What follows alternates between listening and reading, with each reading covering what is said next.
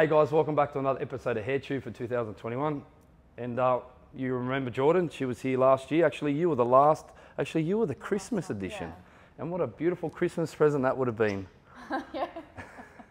um, you guys also know Geordie is uh, pretty much the life support for me. Without her, I'd probably die. Don't take that the wrong way. I feel bad. Don't ever leave me, Jordan. um, but we're going to do a hair today, and uh, we've discussed making her even lighter. So that'll be fun. Everyone can see what it's looking like from last time. A little bit of a before and after. Um, it's grown out really well. I think that's something worth mentioning. When did I colour your hair? Like literally, was it the start of November. Start of November? So I was a bit of delay because you were a Christmas edition. Yeah. Let's continue with a similar technique because obviously, as we speak about often, it's very important that clients feel like they're not sort of bottled into some high maintenance schedule with their hair. Um, and obviously, Geordie works in a hair salon. I mean, she pretty much runs the place. Um, and she could have her hair done whenever she wants, but she hasn't needed to. And if she needed to, I'm sure, even though you don't like asking, you would say, hey, do my hair. we're going to uh, get started, but let's talk about what we're going to do first. So I'm going to use a similar technique to last time, combination of sort of back combing and um, weaving. And if you wanted to see what I did last time, the video is in the um, video list. It's really important that, as I said, we look after the condition. So I'm going to use the Light Master from Matrix with Bonder inside. Now, that's not some miracle cure where you can just go and go in really hard with someone's hair and blast it out. You still have to consider the fact that hair that's previously been lightened is going to be sensitive. So where the regrowth is, I may use 30 volt, and then where the um, where the hair's already lightened, I might use like 20 or even 10 volt, just to sort of clean that out. So um, we'll talk a little bit more about why and how um, when we get to that, but um, should get started, huh? We had a bit of trouble with the audio, so we've been here for uh, like an hour longer than we should already because thanks to the proud people at I won't name which brand who sell the most expensive IT products on the planet, they don't always work. So anyway, we've got to it sorted, we'll get started. Yeah. See you soon. Okay, so in the interest of time, you can see that I've, I've started the foils. So underneath here, you can see Jordan's hair is quite um, dark. And the reason being is obviously she's naturally brunette, but we concentrated on a balayage effect last time. So the color was mainly through the top and the sides where you could see it. So now to get some color in there, for me, the best way to get color into the hair quickly is to do slices. So um, underneath there, we've used a LightMaster with bonder inside and 30. Um, you can see I'm just doing horizontal sections. And then once I get to around about the occipital bone, that's when I'll go back to doing that more traditional balayage look. And for me, I do back combing because that for me is how you ensure it grows out really well. Um, once you get to the top here and around the hairline. So I'm going to keep uh, on putting these foils in and um, I'll uh, come back and have a bit more of a chat to you when I get to the top.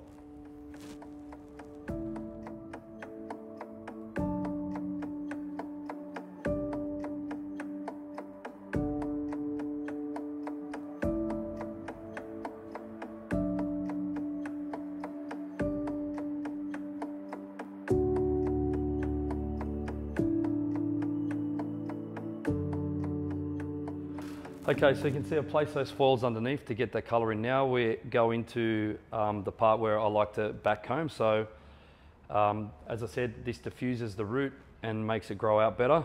Um, and this is what we're going to do for the rest of the head. So this underneath was purely about making sure we get as much colour in as we can or remove as much colour out of the underneath as we can. Um, so now it's into using our technique, back combing the hair in, um, and then we put the the foil in.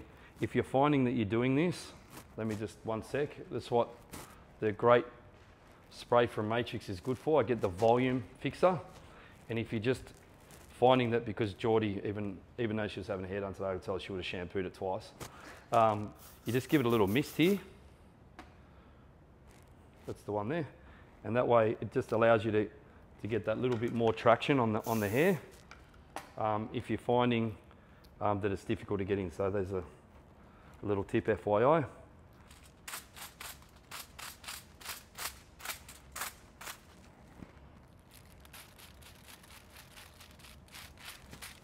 And I also, once I get to the top like this, I actually start to do one side at a time.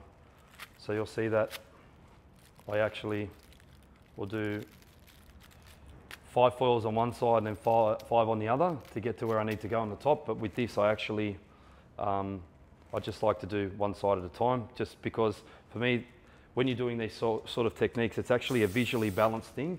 And to get visual balance, you can see that instead of just section one side at a time, I actually did that V there across the whole head so I can make sure that I, as I said, put the colour in the right place so that it has synergy and balance on both sides.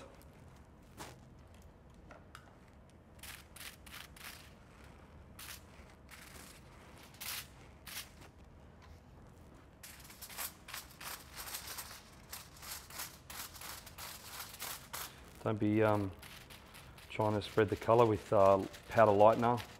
Um, from my experience, um, saturation is key. Don't try and spread it too far. At the same time, don't waste it, um, but make sure that you get really good saturation through the hair. If you're doing this technique and you're using quite large sections, sometimes what I'll do is actually put some lightener on the actual foil, the hair down and then lightener on top so that you make sure you get it pressed right, right the way through. I'm going to continue to do that all the way to the top until we get to the side and then you'll see us again once I get to the side there. One of the things I say a lot is clients love consistency, yeah? So I find that when we weave the hair free-handed, it's very hard to get it consistent. Um, so this is like a, a, comb that allows you to actually weave the hair and I'll, I'll show you how it works, but it allows you to weave the hair um, and you can get it the same each time you do it. Like it's basically guaranteed consistency. So that's why I've started using this. I really like it. So I'll show you how that works. Always going to leave some natural hair out of the hairline.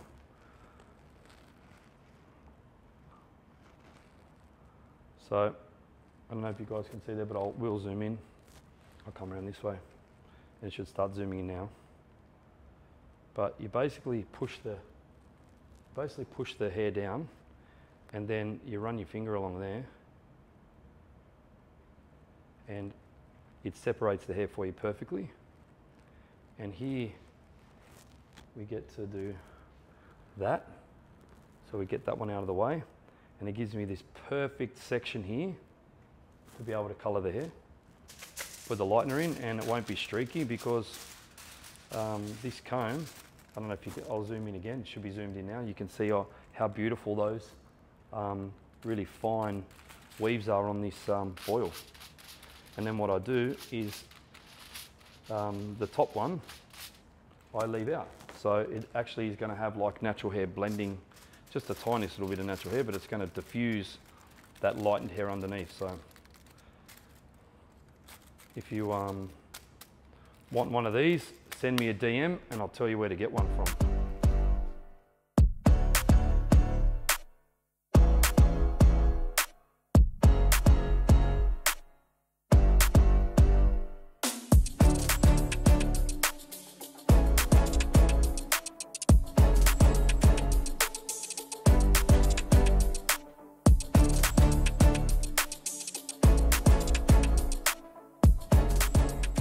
Almost at the end now. Fours are in here, in there, both sides, and now it's to the top. You need to work all the way back horizontally like this until we get to here. Um, by the time they're in, I'm probably going to have to rinse the back here because um, I'd say they'll be processed. If, if they are, I'll always recommend um, starting in the back for that reason so that you can rinse the back if you need to, especially when you're doing applications like this. They can take time and nothing, seldom is something that's done fast going to give you a better result. The first thing I'm going to do in the hairline is I'm going to do a baby light as I've done at the bottom. And it's very important that you pick up these hairs in the corner. Do you see that one there? These fine hairs, you've got to pick these up. And we're actually going to do a little baby light all the way around here.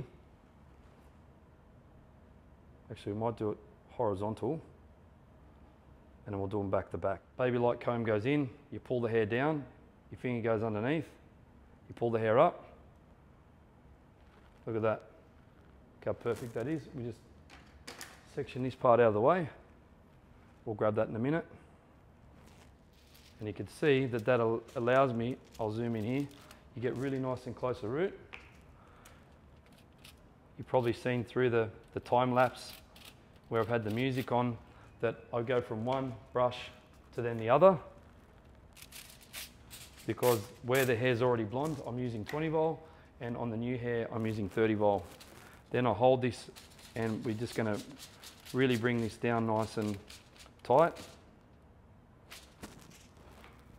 fold the bottom over the 20 volt. So the 20 volt, or the hair that you wanted to um, keep away from getting the uh, 30 volt on it is protected like that.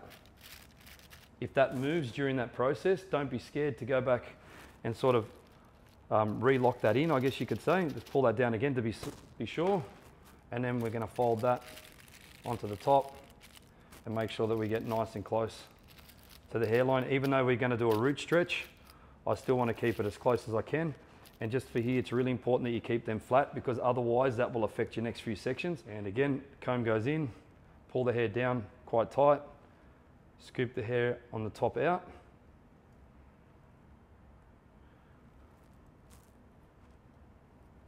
We leave all that underneath away and then we put the foil in between that.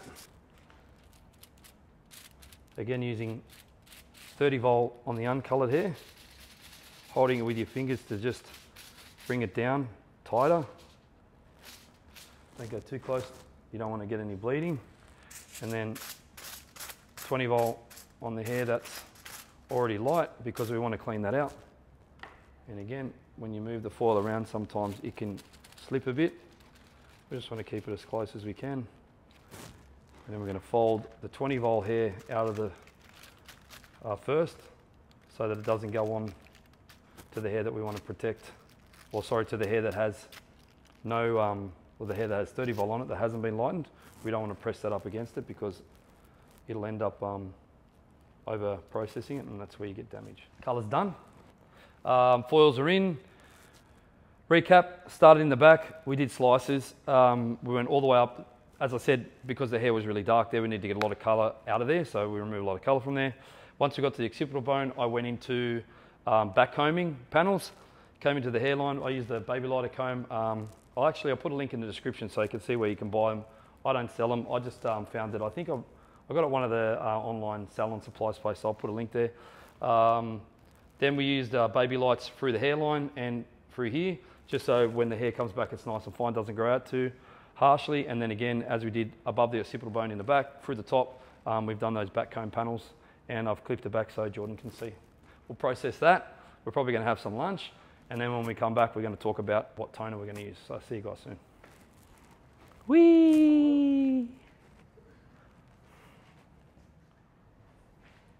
We are back from the basin. I guess I should give you a little bit of a recap about what we did because uh, you can see that Jordan has now been um, rinsed, toned, and she's about to be styled. Um, so while I tell you what I did during those moments, I'm going to talk to you about this. So I'm going to use a little bit of volume builder just in the roots for volume, obviously. And I also like to put some in through the front there because that's where we like to get some shape in the hair and then smooth setter on the ends. It's a great blow drying balm. Don't need a lot, a little bit. Always comb that through, make sure that product's taken through evenly. Let's talk about the color. I rinsed the back first and these few little panels in the hairline because obviously the hair's finer there so it lightens faster. Top actually a bit stubborn. We actually um, had to leave that for probably close to like 45 minutes or so. When I've taken to the basin, I've uh, dropped a root down and I always do that for the growing out thing. So we spoke about how we want it to be low maintenance and not grow out really hard. So that's good because that will blur the uh, highlight we put in with a natural color, but also like because it puts a shadow in around the hairline. So in around here, um, it's also going to keep it dark, which I think uh, is nice. Half uh, 8M, half 5N. So we've got somewhere around the sort of 6, 7-ish level. Um, and then onto our ends, we did um, 8M with uh, this, sorry, this is all Matrix Color Sync, I should say. So this is all um, uh, semi-permanent color. We did, um, let me start from the lightest. So we did SPP, so 20 grams of SPP, 20 grams of 8M, 20 grams of 10P. And that's a toner. What we're gonna do now, no haircut today because Jordan didn't need one. It hasn't been long since we've uh, cut her hair. I'm just gonna style it. Um, so I'm gonna wrap dry it um, and then I'm probably gonna just do a little bit of cutting, like maybe like a bang trim, fringe trim just around the front. And then we're gonna talk about styling. So let me start with the drying. Thank you, Jordan. And she said that this hairdryer was nice and light. So this is the GHD hairdryer. So.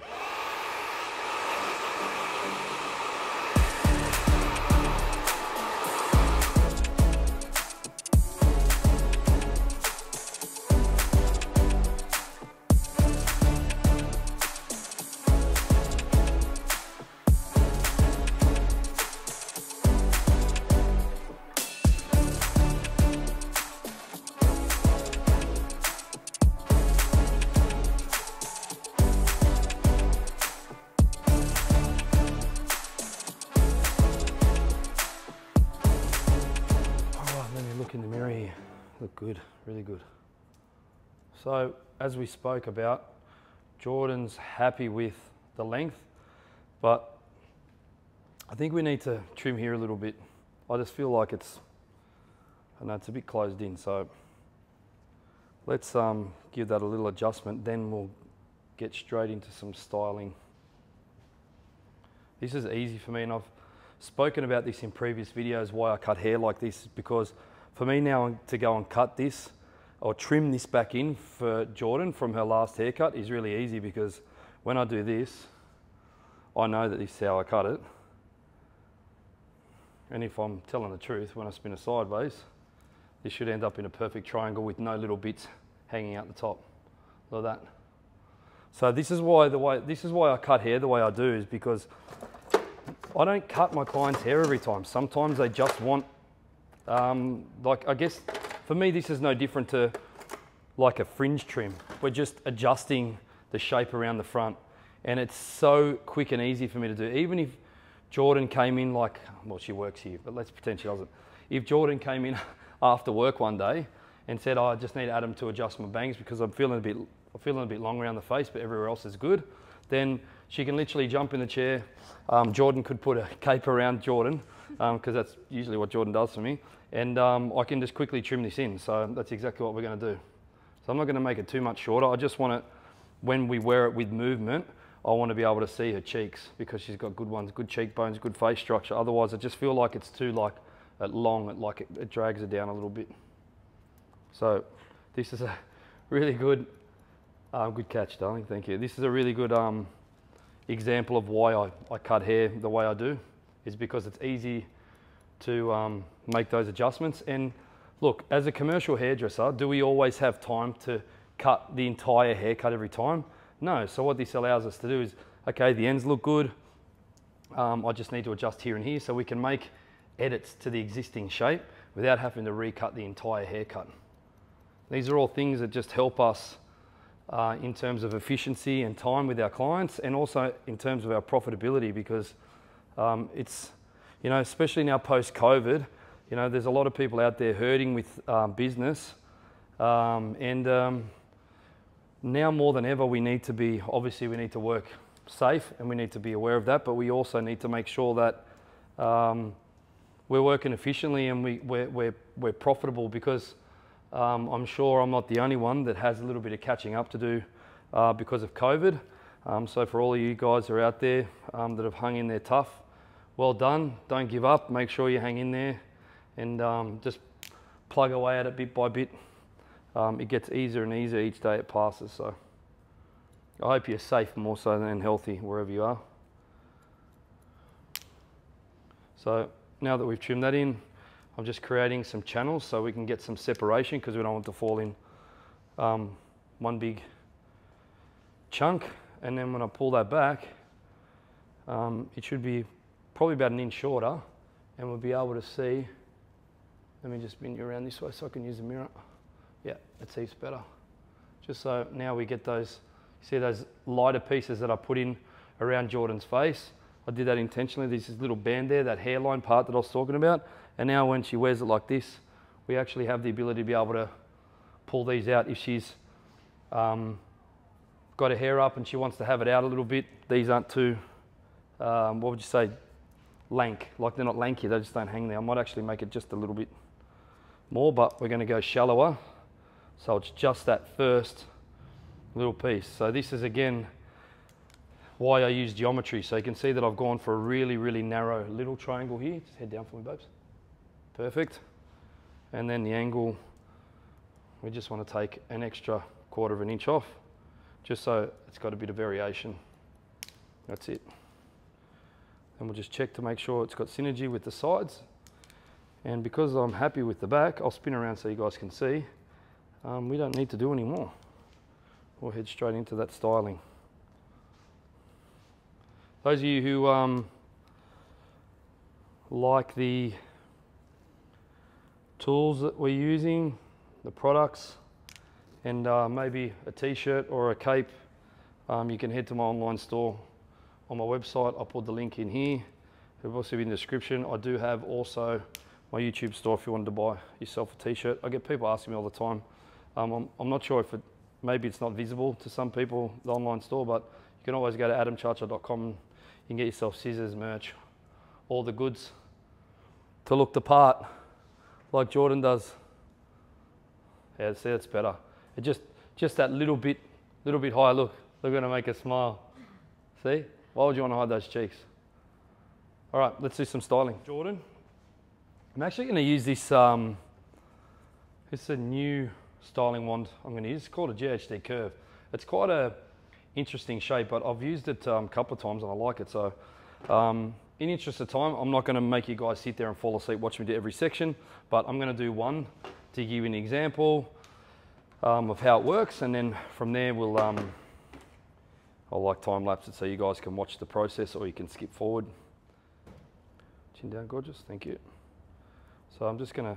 I'll just do this like things going, and then we're going to just wrap this like that.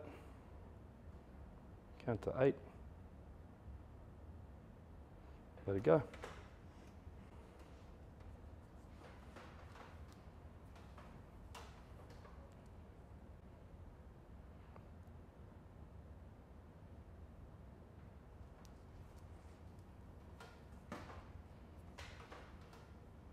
That's really annoying.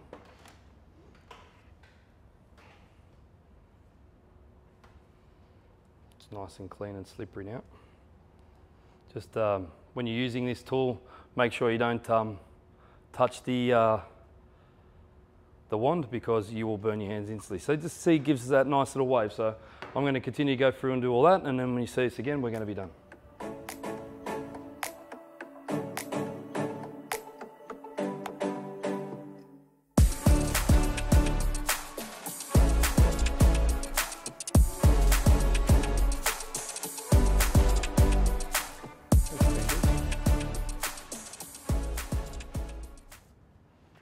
Think, um, I think it works well. It's been uh, Jordan around so you can see the back. It's just some nice, I actually really like the shape of um, that um, GHD curve does. It's, I guess it's a bit different. It's not so, it sort of gives you more like a, rather than spiral, it's more like left, right, left, sort of like a, more of a, I guess you could call a traditional wave. Just grab myself some um, smooth setter.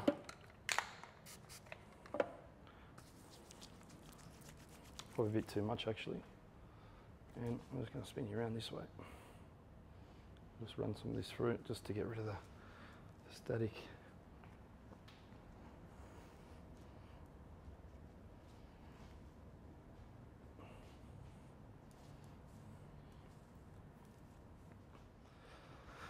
Run your hands through it. You haven't touched it. It's your hair. I'm going to finish with some um, style fixer as well. Yeah, it feels good, huh? Yeah. Um, the mirror's here to our, well, our left, your right maybe. So I'm just spinning Jordan around so she can see herself in the mirror. So what I get you to do is just like, um, just to your head like this, Jordy. Other way, other way first. Yeah, close your eyes, please.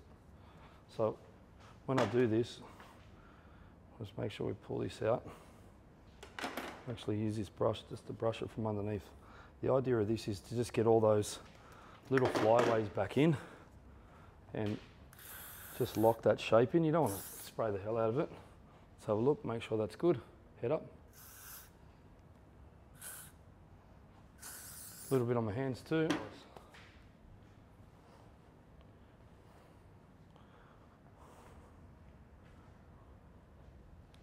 Looks good. What do you reckon? Good job. Thanks. Thanks. I go right. Double thumbs up. Um, yeah, it was good. I mean, we had a good base to start with. Um, key points for me were um, uh, first and foremost, I think, um, remembering that we had pre-lightened hair, or the hair had been previously lightened by myself. Making sure we look after conditions is very important. Matrix allows me to do that because um, I know a lot of companies have various um, uh, treatments that protect their hair during the lightening process, either pre-lightening, during, or after. The thing that I like about the Matrix one, LightMaster with Bonder inside, actually, it's in the actual powder. So we mix it up and then that's it really. There's nothing else to be done. So take, you can have a bit more confidence, but as I said, that doesn't mean that you can just like forget about the science of colouring hair and that's a, like a miracle cure. You still um, need to think about that, but I guess for me, the beautiful thing about that is it gives me that buffer. So whereas before I'd be hesitant to sort of like nudge it a little bit, I know that I can and the hair's still gonna be, I mean, it's gorgeous and shiny. I mean, I'm looking at the monitor down here, um, stunning, like it actually looks shiny. Um, the uh, toner, uh, all those uh, colour formulas will be in the description. And uh, with the haircut, as you saw, um, because I'd follow those um, very strong and easy to follow geometric patterns, not only do they give us great shape, but it allowed me to just trim this in. Um, and you can see this side and that side. I mean, for me, here and here, like this is killer. Like it's all about face shape. So yes, length is important, but for me, the length is personal. So um, could the ends have used the trim? Yeah, maybe. Um, are they like sort of the ends that you'll walk behind and go, my God, that lady needs a haircut, that girl needs a haircut? No, they're not. So sometimes it's okay to just cut the front, style it, and, and leave it like that. And by following those sectioning patterns that I do, it makes us efficient. Like I said, being efficient, not fast. We don't want to rush nothing. So um, was good. I enjoyed it. Um, I think we're good. Seems we're in a day off. Maybe we should pack up and go home. Yeah. um, what I'd like you also to do is, uh, Geordie's an amazing uh, athlete, personal trainer. So she gets really shy when I talk about it, but she's actually, she's actually a pretty incredible human. Very smart, very fun. Well, not really that funny, really. Sort of dry, but she's very intelligent, obviously beautiful, and she's actually an amazing athlete and now personal trainer. So uh, get over and follow on Instagram. I'll do this thing here, actually in front of her. Put it there. It's like Jordan Taylor Fit um, yeah, that'd be good. And uh, if this is the first time you've seen one of my videos, please make sure you subscribe. If this is um, you following me and, and you're watching again, please share this video if something may benefit. I think it'd be good um, to share. People need to grow and without us sharing, people don't get to see it.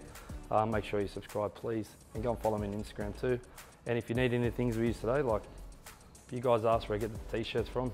Geordie didn't wear hers today, but she wears it when she trains. I've seen her wearing it. Um, yeah, you can go to the, my Instagram uh, shop or you can go to adamciaccia.com, buy them, or you can buy them on YouTube. Um, yeah, I know people ask, so that's how you get them. Um, thanks for Matrix. Uh, see you next time from Canberra, Australia. It's uh, see you later, mate. Got to do something.